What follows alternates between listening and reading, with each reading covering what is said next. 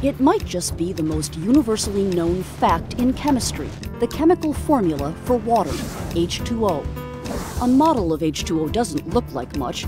Two small atoms of hydrogen, the H2 part of H2O, attached to one bigger atom of oxygen, the O part of H2O. Kind of like a cartoon drawing of a teddy bear. And actually, water is kind of funny. Fun facts Water, H2O, is the only natural substance on Earth found in all three common states of matter liquid, solid, and gas or vapor. It's also one of the only common substances that is less dense in solid form than in liquid form. And water can dissolve more substances than any other liquid.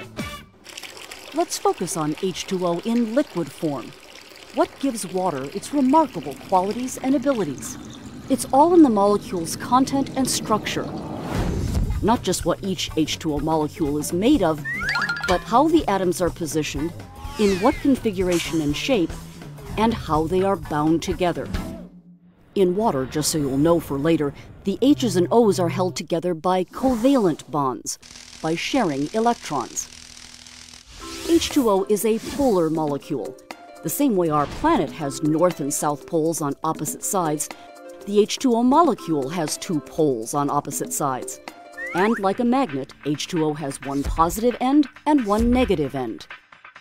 Thinking of that cartoon teddy bear again, the chin side of the oxygen atom has a slight negative electrical charge.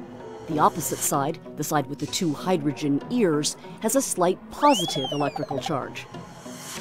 This might just be the second most universally known bit of chemistry. Opposites attract. The positive hydrogen side of every H2O molecule is going to attract and be attracted to the negative oxygen sides of other nearby H2O molecules in all directions. More and more of them pull closer and closer together until they're like people in a hot, crowded dance club. Packed so close together they can hardly move, but still turning and moving wildly. Molecules that stay close to each other are called cohesive, and water is highly cohesive. Septillions, octillions of chaotically moving, tightly packed H2O molecules cohere to make a single raindrop. As good as water molecules are at all this cohering and convening, they also form bonds with surfaces and molecules unlike themselves, a force called adhesion, as in adhesive. Pour the water out of a glass, and the inside of the glass is still wet. Some H2O molecules stick or adhere to the silica molecules in the glass. Being cohesive and adhesive is what makes water a near universal solvent. How? Take salt or sodium chloride, sodium ions, abbreviated as Na+, and chloride ions, abbreviated as Cl-, in a crystal.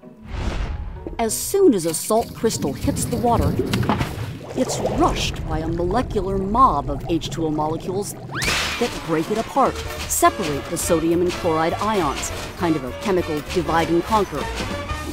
Because sodium ions have a positive charge, each one is swarmed by H2O molecules flying at it with their negatively charged oxygen sides, completely surrounding the sodium ion, isolating it, carrying it off in a turbulent sea of H2O molecules. The same thing happens in reverse to the chloride ions, which have a negative charge. Each of those is surrounded and isolated by H2O molecules leading with their positively charged hydrogen sides. Each salt crystal is broken into tiny pieces, dissolved by and into the water. There's much, much more to know about H2O and how it works to keep every living thing on the planet, and maybe other planets, alive. Think of this video as a drop in the bucket.